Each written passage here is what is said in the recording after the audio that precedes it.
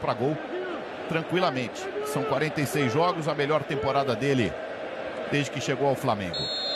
Andréas Pereira, dois jogadores na barreira, vai pro gol. Andréas bateu, golaço!